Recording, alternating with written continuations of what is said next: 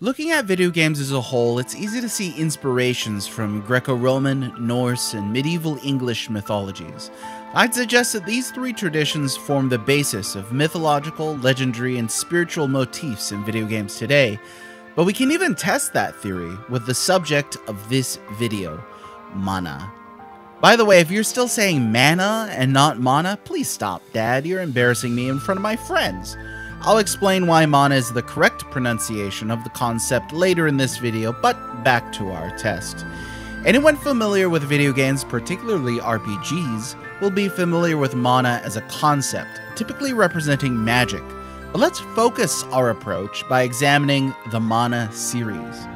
Beginning with Final Fantasy Adventure, aka Seiken Densetsu Final Fantasy Gaiden, this series crafted a world of legend and enchantment, a new mythos developed around the concept of Excalibur, a new universe which spun off from Final Fantasy, distinguishing itself with its early action RPG gameplay. Don't listen to any revisionists who tell you that they didn't have the technology back then to create action RPGs. Mana was only one of many ARPGs at the time, some of which pioneered the subgenre years earlier. Mana was a hit, developing its own lineage of games like Legend of Mana, Sword of Mana, Trials of Mana, Children of Mana, Mana 2 The Electric Boogaloo, Mana the Squeakquel, and Land Before Mana The Great Valley Adventure. As the Mana series continued to unfold, its legendarium accumulated recurring imagery, such as the seeking of the Holy Sword. But at the center of the Mana world stands a majestic, towering symbol the emblem of its emphasis upon natural forces, nature with a capital N, indeed personified into a mystical monument of life and source of all magic, the Mana Tree. When I say personified, I mean literally. The first Mana Tree was formed of a feminine creation deity who then became the wooded allegory of balance herself, taking on the form of the very first tree. If and when the tree dies, someone else must become the new sapling for the next one. This is the seed of Mana, or the Gemma, defended by the Gemmonites who take up the Mana sword. Thus, the balance of nature continues with new generations of the Mana tree in a natural cycle of life and death. If you're wondering what the secret of Mana actually is, at least in the game that bears the title, this is it.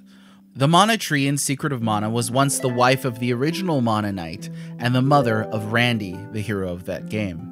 Mom being a tree would be a pretty big secret, and wow, would it be awkward at Thanksgiving. Anyway, here's your test.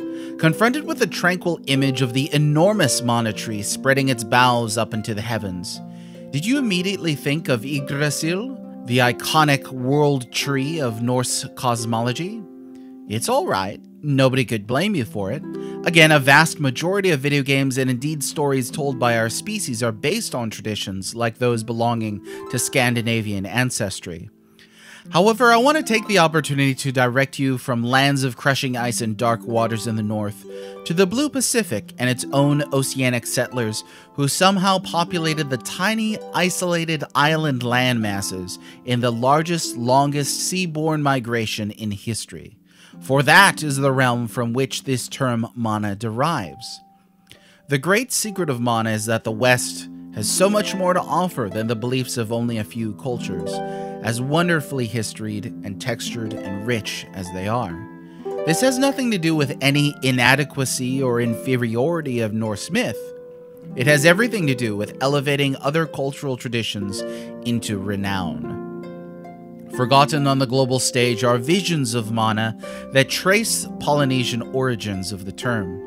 Our goal here is discovering, or more specifically, rediscovering these beliefs, for they have long since been upheld by oral traditions of chant and music and dance for generations in their native lands by a seafaring people who crossed vast distances of open ocean with naught but wood and weaving, without modern device, and little more than a knowledge of the stars to guide them.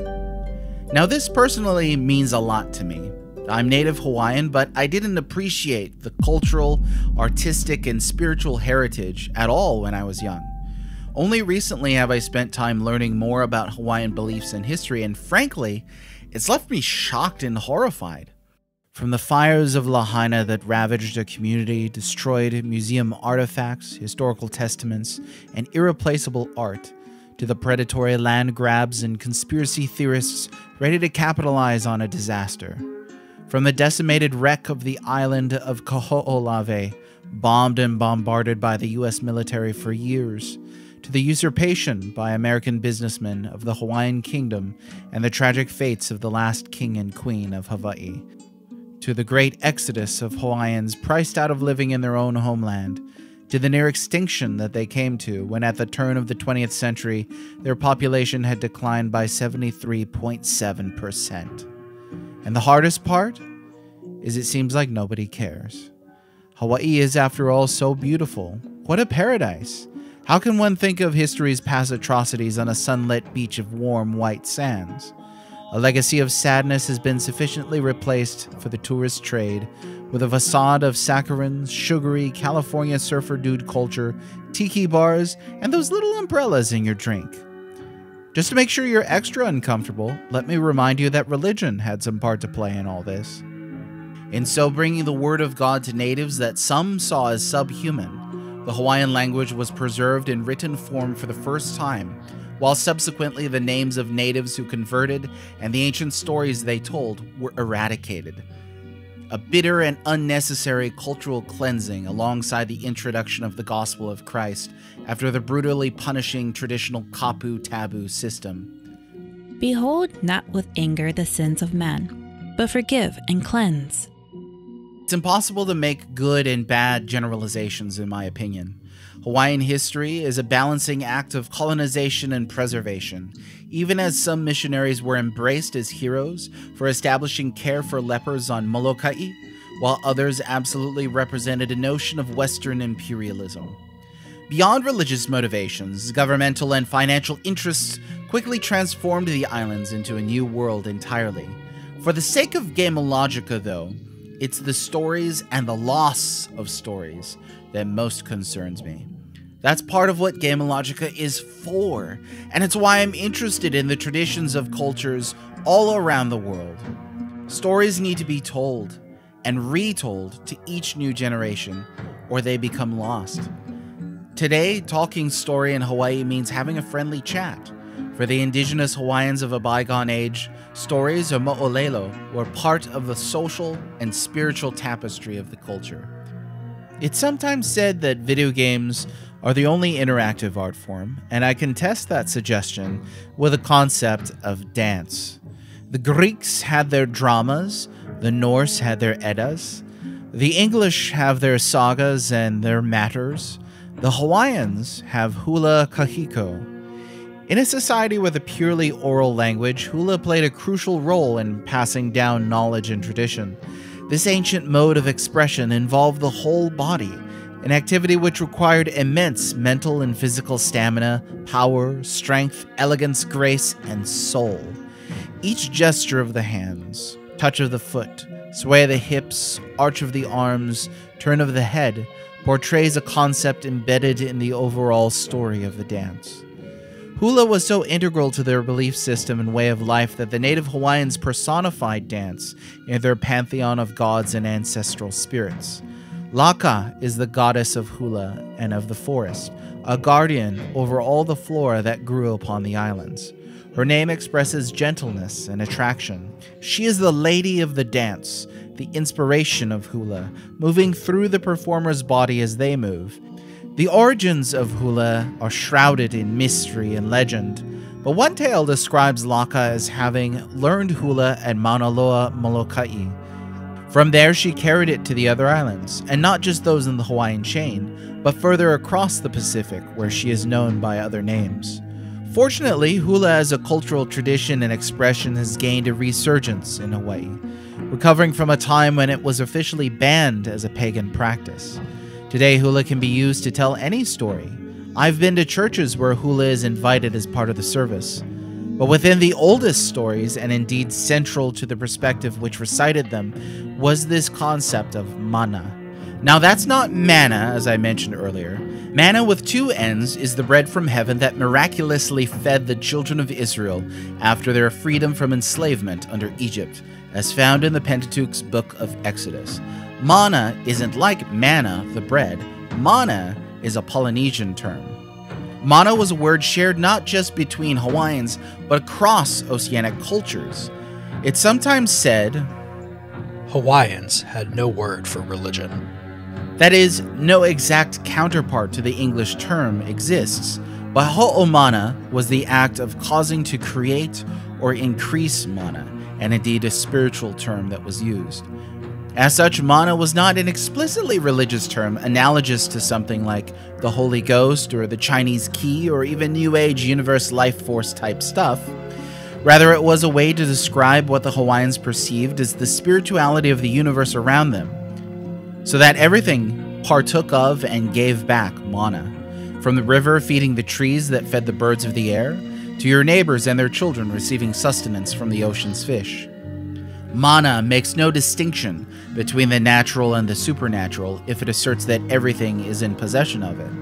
And it was under this belief that they cultivated the earth and treated the natural world as sacred. Short of personhood, mana was like a kind of independent existence force. Even words were believed to hold mana once spoken. However, mana could be described also in terms of power and charisma.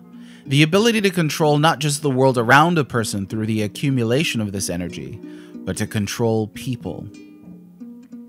Hawaiian royalty was believed to have a special relationship to mana. The highest ranking families were those who were most directly descended from the gods, those chiefly families who kept their bloodlines so pure that the mana of their godly ancestors, the power that motivates everything in the universe, might flow uninterrupted to them and through them to the benefit of all their subjects. David Kalakaua, last king of Hawaii, fascinatingly tracks the history of the Hawaiian people through oral traditions stretching back generations, indeed thousands of years, in his book, The Legends and Myths of Hawaii The Fables and Folklore of a Strange People.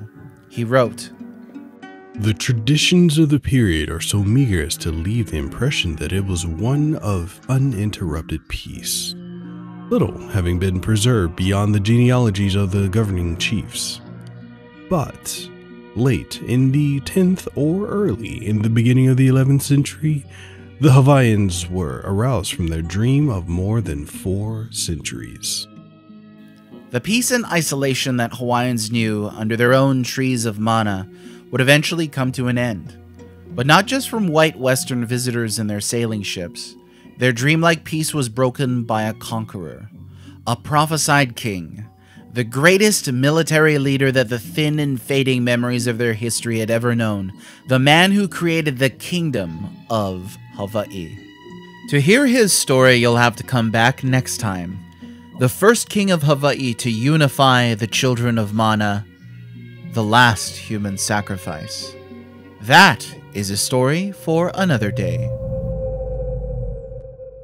If you learned something, please hit the like button and subscribe so you don't miss any future episodes.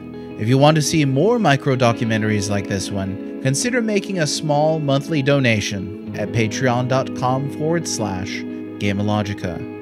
Let us know in the comments what topic you want to see Gamelogica explore along the crossroads between video games, myth, spirituality, and religion. Fidem Fabula Ludos. See you next time.